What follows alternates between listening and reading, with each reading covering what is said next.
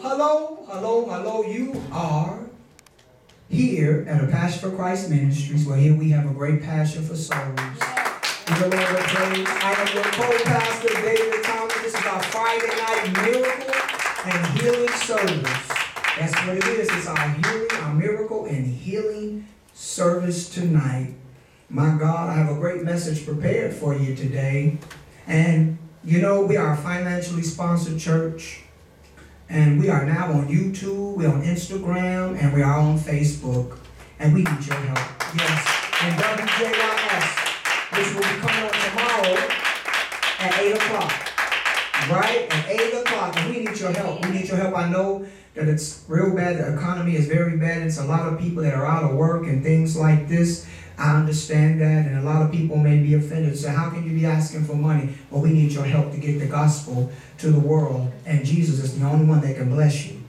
Jesus is the only one. You'll be given to His great work. We are a financially sponsored ministry, and we need your help. If God lays it on your heart to um, make a sacrifice, please send it to P.O. Box, Reverend Beverly Denise Thomas, P.O. Box 498525, Chicago, Illinois. That's Reverend Beverly Denise Thomas, P.O. Box 498525, and that's Chicago, Illinois. Please, we need your help to get the gospel. We'll take it and we'll put it back in the ministry to reach the lost. And that's what it's all about in this hour. I'm not sure what others are doing, but this is what we are doing. So I have another great message for you today. And the name of our message on the day, the topic of our discussion is It's a Great Time for Compassion and Genuine Care. It's a great time for compassion and genuine care. It's a great time for it. It's a great time for it. It is a great time for compassion and genuine care. Yeah. Genuine. Is it genuine? Of course it is. The word compassion means a feeling of deep sympathy and sorrow for another. And I want you to uh, think about what I just said. The word compassion means a feeling of deep sympathy and sorrow for another. Let us ponder that word deep. And how will we ponder that word deep? We'll ponder that word deep by defining it. And it means extending far down from the topic of a surface. The word deep means extending far down from the top or the surface. You cannot see deep if you're on the surface. You have to go deep. And compassion is what goes deep. God's compassion goes deep. It goes deep. It extends far down from the surface. And guess what? It's a great time for it. Many will uh, uh, say that it's not. How can we be talking about compassion in such a time like this? Well, we're talking about God. God does not think the way man thinks. God does not move the way man moves. God does not act the way man acts. This is a great, this is a perfect storm for God. It's a perfect storm for compassion and genuine care. Psalms 86 and 15 says, But thou, O Lord, art a God full of compassion and gracious, long suffering, plenteous, plenteous, plenteous in mercy and in truth. In the beginning of this scripture in Psalms 86 and 15, he says, But thou, O Lord, art a God full of compassion. When you think about the word full, my God and my Lord, there's nothing to add when it's full. Yeah, You're getting ready to get on the elevator, and, and they come, you've been waiting for the elevator for a long time, it never happened to you, be in a building, and you get ready to step on it, you're like, ah, oh, it's full. His elevator full. That means you can't add nothing. And God is full of compassion. Full of it. If he's full of compassion, that's where we need to go to get it. If he's full of it. Right? You know, growing up was difficult to me. Because as a young man, I grew up living in the projects half my life. So I did not see much compassion or people showing that they really cared about one another or what someone else was going through. Uh, my mom and my dad did the best they could do in raising five kids and considering the difficult circumstances they themselves were in. Our family truly did not know about compassion, nor understand it. But like I said before, my parents had their own issues, and soon those issues would surface. And my father left the home when I was young, and so now our family became what I had seen in my friends and my friends' families, and that is a broken home. So what did I do? I ran. I ran right into the streets. right into the wrong hands.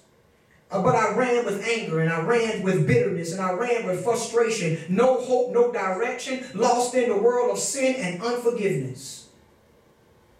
I was broken. I wanted everyone to see and to feel what I felt. I needed something deeper than a listening ear. I needed to be fixed in the inside. I needed something no one else could give, and it had to be real. It had to be lasting, and it had to be strong. It had to be God's compassion. Yes. It had to be. A human being could not help me, even though I love my mom and I love my daddy, but they couldn't understand what I was really, what I really wanted. And so our home was broken. My dad left, and all I could think about is hurting. That's the only thing that was on my mind. Hurting. Psalm 78 and 38 says, But he, which is God, there's that word again, being full of compassion uh, being full of compassion, forgave their iniquity and destroy them not. It says, Yea, many a time turned he his anger away and did not stir up all his wrath. My God, is this a God of great compassion? My God, my Lord was looking at me in the streets and treating people wrong, people treating me wrong. He was watching me curse and smoke and drink, and he didn't love what I was doing, but he had compassion on me because he saw what I could be in him. And so he had compassion. He didn't let me die and go to hell because God cannot use you or help you when you're in sin. And, it says right here in Psalm 78 and 38, in the B part, it says, Yea, many a times turned he his anger away. He turned away, but he could have let me die, but he didn't. And why did he not? Because he was having compassion, because he knew why I was running. He knew I was hurt. He knew the circumstances that I had went through. He cared about what I was going through. He cared about it. Yet while we were in sin, Christ yet died for our sins. I didn't even know about Jesus. I didn't even know about being righteous. And I didn't know about a Savior that had died on the cross. I, I didn't know about a Savior that has been stretched out. All I knew was drugs, money, and women. All I knew was drugs, money, women, and songs and music that did not elevate God. That's all I knew. I grew up that way. But God had compassion on me. It was a great time for compassion and genuine because that's what I needed. And God knew that's what I needed. He knew that's what I needed. Remember, we talked about the word deep. And that's what I needed. I needed somebody to go in the inside. I needed somebody to search the innermost part of me. I needed somebody to talk with me and to reason with me. That's what I needed. I needed somebody to reason with me. When I said something to him, he didn't have to turn away and say, I don't understand you, but he knew. You know how you come and talk to somebody and you keep talking and keep talking and they shaking their head and you know they don't understand nothing you're saying. And it's not because you're it's not because you're not making any sense. They just don't understand that deep hurt. Human beings are good, wives are good, husbands are good, but nobody is greater than Jesus. Nobody can seal, can, yes, nobody can soothe that wound inside. It's a great time for compassion and genuine care. Think about the word genuine. The word genuine means free from pretense, not counterfeit, no hypocrisy, sincere. How many relationships have I been in before I got saved that it was full of hypocrisy, pretense, counterfeit? People were looking for what they can get out of you, and you were looking for what you could get out of them. How many? How many times have you hurt somebody and not forgave them? And, and the thing is, is that, that, that, you didn't forgive them, but you was out there hurting people and they was hurting you. Right? It's something to really think about, isn't it? It's a great time. It's a great time for compassion and genuine care. I said genuine. Let's go over that definition again about genuine. Free from pretense, not counterfeit, no hypocrisy. It's sincere. It's real. Some of you, you play around with the word of God and you play around with your own feelings thinking that you are justified in treating people mean, but you're not justified. You don't have compassion because you don't have a born again experience, but you can get one. It's made freely for everyone. He said, Whosoever shall call on the name of the Lord shall be saved. And, and when you call on him for sure now, when you call on him for sure and you want that compassion, you can have it. It's made available to every human being. You can be changed. You can be delivered. You don't have to walk like everybody and talk like everybody because everybody is on the road, that broad road, which leads to destruction. You don't have to be on that road. That compassion that Jesus gave on the cross, that was compassion that held him there. That was compassion that talked to the Father at, in heaven and told him, Lo, in the volume of the book it is written, I He said, Lord, in the volume of the book it is written.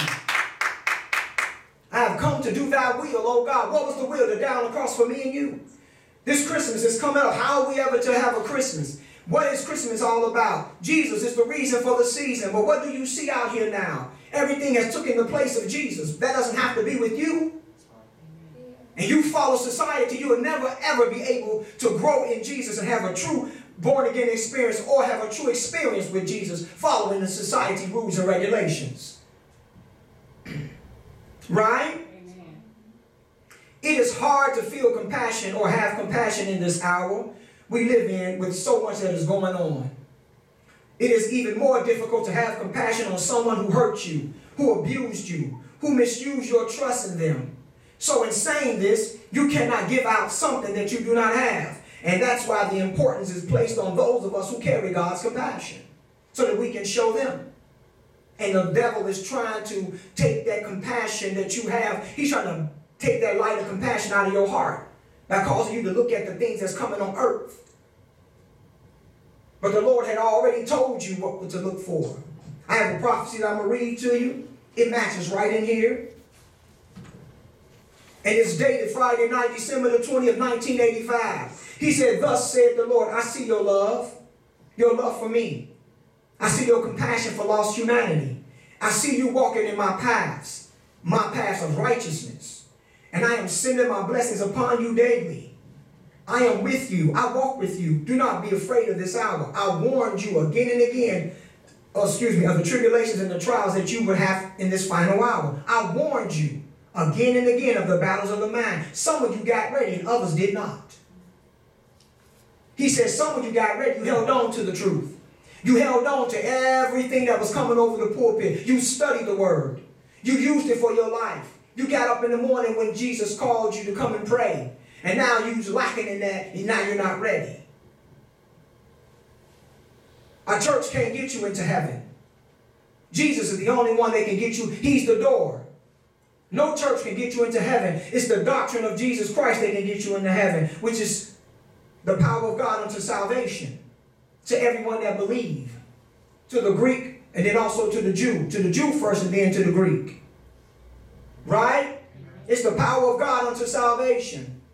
There is no other name under heaven given among men whereby you must be saved, and that is through the name of Jesus Christ. And you cannot have a born again experience without going through Jesus. There's a nation of people that are out right now that talk about enlightenment talking about they have tapped into uh, the way of um, eternal life without Jesus. That's false doctrine. You cannot have eternal life without the Christ. Magic has replaced everything that is on the TVs now. Magic and voodoo and oh my God, it's just replacing everything. And how are you living for God? You got to ask yourself this. How are you accepting God's compassion? Jesus' compassion. But the Lord is letting you know today it's a great time for it, and you can accept it, and He can give it to you because the Lord will never force Himself into your life. He'll give you all that you will need, and all you have to do is reach up and get it. If the table is spread, He said, Come and dine. Come and dine with Him. Come and eat at His table. Bring your burdens, bring your cares, bring them, bring them, bring them First Peter 5 and 7, he says, casting your cares upon him, for he careth for you. God wanted me to tell you today, he cares about you. He cares. He cares what you're going through. He cares about your thoughts. He cares about what you feel in this hour. He cares about your heart, your heart's desires. He cares about you. But you have to consider your ways and you have to come and reason with him. Jesus only reasons through his truth. He doesn't reason no other way. He reasons through his truth. He doesn't reason no other way. He reasons through his truth. When you come to him, you got to be looking for truth because that's all he had for you. He says, In St. John, the fourth chapter, verse 23 and 24, but the hour cometh and now is, when the true worshipers shall worship the Father in spirit and in truth. For the Father seeketh such to worship him. God is a spirit, and they that worship him must worship him in spirit and in truth. It's the truth that will set you free. It sounds corny. It sounds so um, cliche, and most people, most people that hear it, they quote it. Oh, we know the Bible and we know the scriptures and we know about the word. But what you are failing to realize, you're not free unless you love the truth, and you're not living in the truth if you're not living in Jesus. That's compassion. God, God the Father sent His Son down here to die for your sins. That is great compassion for you. He had to turn away from his only begotten son. And think about the scriptures. It says, For God so loved the world that he gave his only. That means he's the only one he had. And he gave it to the whole world. And he had to turn his back on him for you so that you could be free. So that you won't have to stand up there and say, Jesus paid it all. And then you go on and keep sinning. No, Jesus paid the price for your present sins and your past sins. He paid it all. But he's an example that you may live righteous. He's an example that you may live holy. He's an example that you have to follow him in everything. If you go to school and they give you an example to a math problem, if you don't follow that example, you won't get the answer. If you don't follow Jesus in everything exactly as he has said, you will never get the right answer. You've got to be righteous in this hour. You've got to stand strong. How do you think you can stand strong? by living through the love of God. God so loved the world that he gave his only begotten Son. He gave everything yes. with great compassion. Yes. God loves you. Yes. God loves you. God wants you to serve him, and God has a plan for you. Yes. God wants to heal your body. Some of you, you're trying. Chapter verse 35, and Jesus went about all the cities and villages, teaching in their synagogues and their places. And the word of God said he had no place to lay his head, but he went to their places teaching the gospel of Jesus Christ. He had to tell them, it says, and preaching the gospel of the kingdom and healing every sickness, every disease among the people. So why can't we have this? Why should I be able to read this and not have it? Why should I pretend that it's just the word of God and not know that it is the word of God? It's a difference. Some of you have not been taught right. You just have not been taught right. You know how a mother and a daddy is when they see their child and the child just think that mom is just trying to spoil their lives. They say, son, I don't think you should stick with that person. That's right. That person is not good for you. They're influencing you and they're doing the wrong. Mama, you guys don't want me I had no fun. You mean to tell me losing your life is fun? this person is on the railroad tracks. You are no more than four, five and a half feet. The train can't see you at all. And there you are playing around, playing chicken with your friends, not even thinking to yourself. Just the other day on the news, the kids went out, stole a car, mostly all of them died. Yes. Teenagers. Yes. Do you see? See, at the time it's fun. At the time the enemy don't tell you that you doing something so dangerous that it's going to cost you your life. At the moment it's fun. And see, that's the way some of you are right now. At the moment, it's fun for you right now. But see, now you're in a place right now, you got to start thinking. And you know, it's something to get older and still do foolish things. You're at the age of 40, but yet you still acting like you're 12 and 13, and then you get mad when somebody tell you the truth. You act like a kid. You act like a kid. And they just proved you right there. They just proved it. Paul said, when I was young, I spanked as a yeah. child. He said, but when I got older, I put away foolish things because I knew that I had a calling upon my life and I had to answer that. I had to be more compassionate. And there he was, Jesus. He was healing every sickness and every disease among yes, the people. Yes. Verse 36 says, But when he saw the multitudes, he was moved with compassion. When he looked out there and he saw me, he was moved with compassion. When he looked ahead of time and saw me yes. lingering in the alley, he said, Take me to the alley. He said, Take me to the alley. They say, Jesus, isn't this over here where all the, uh, the, the, fame and the glitter? He said, No, take me where they are lost and low. Yes, now. He said, Take me in the place uh, uh, where they're eating out of the garbage cans. I want to go to that place. Yes. Jesus, you can't, you got to be mistaken. He said, No, I'm not mistaken. And this is why I come. And this is why the Jews killed him and destroyed him because they thought he was coming as a high king, and, but he came low and meek. They said that cannot be the Savior. Yes, yes, that cannot be Jesus. Yes, but Jesus was letting them know at that moment, I come with compassion. Yes. The scriptures tell us in Matthew, the first chapter, he had come to save them from their sins. He just wanted to help. Yes. That's all he wanted to do. He just wanted to help. Yes. He said, Can I help you? But yet they killed him because all he wanted to do was help. Yes.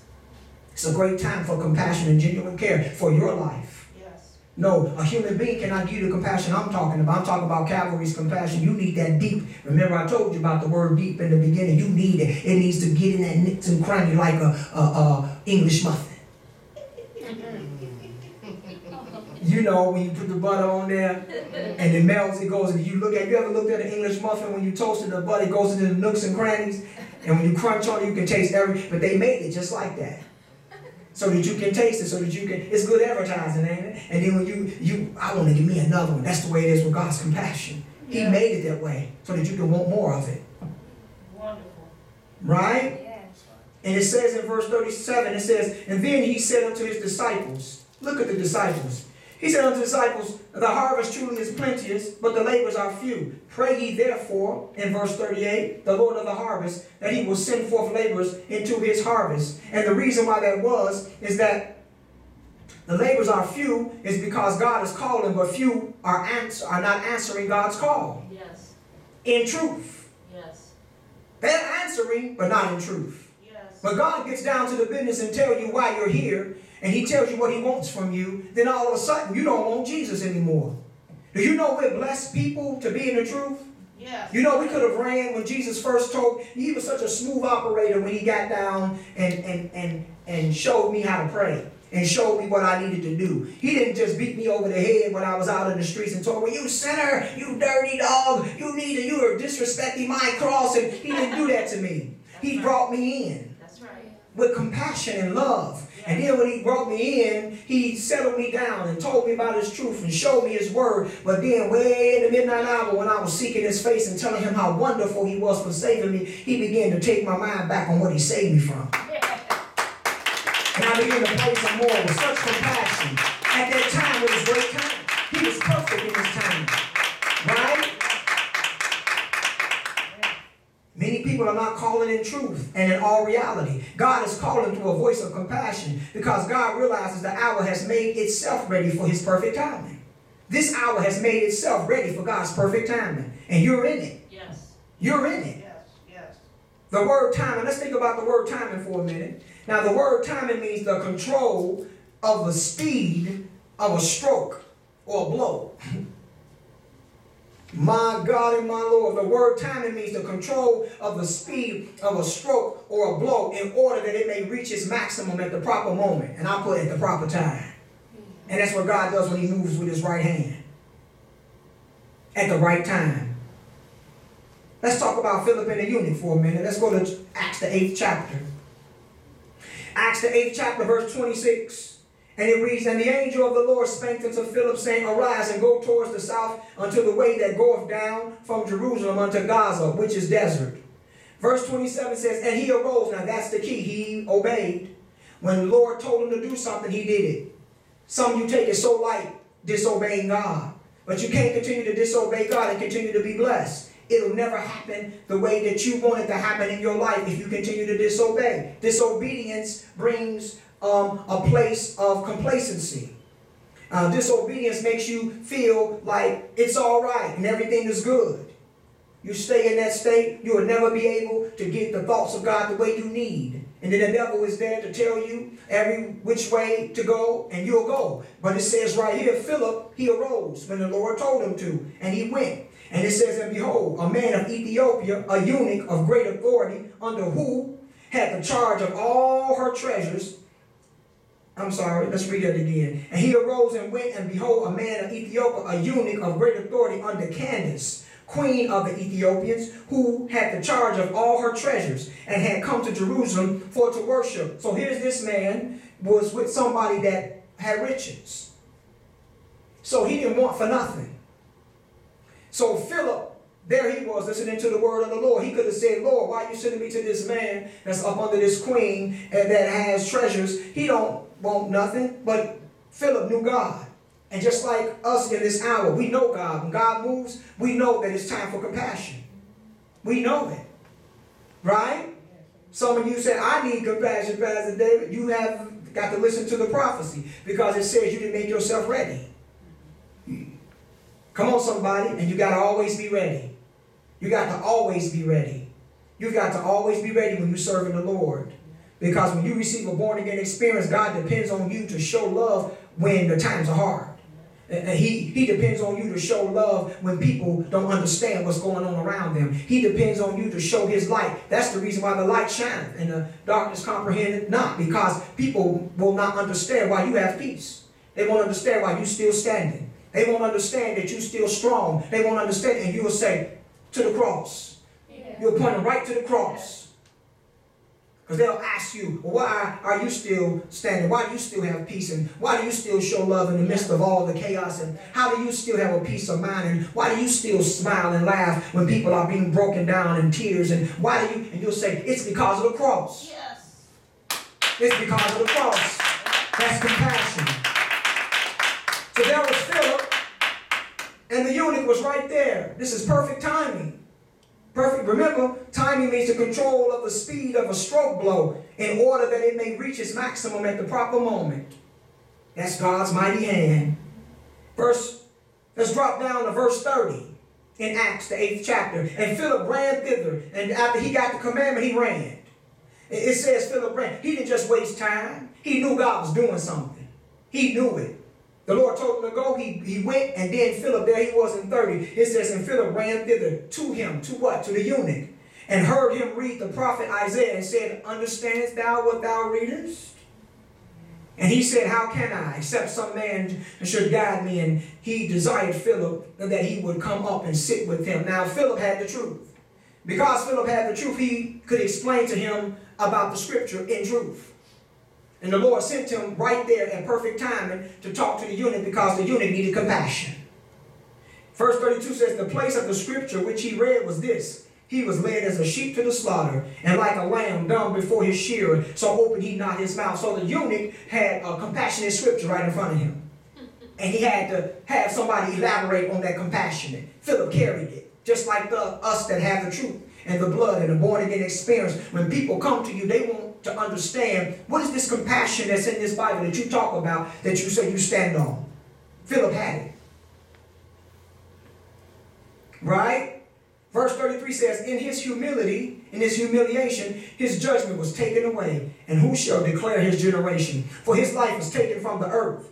Verse 34 says, And the eunuch answered Philip and said, I pray thee, of whom speaketh the prophet? This of himself or some other man? Then Philip opened up his mouth and began at the same scripture and preached unto him Jesus. Philip said, That's a door for me right there. The eunuch wanted to know, so is the prophet talking about himself? And Philip said, Oh, that's a good time for to show compassion. soon as that door opened, he was right there. Are you doing that? The door open, or do you mess